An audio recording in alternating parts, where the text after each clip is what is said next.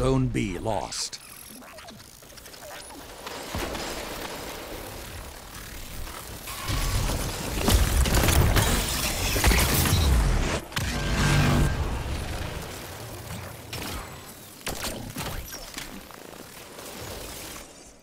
Zone A captured. Zone advantage is yours.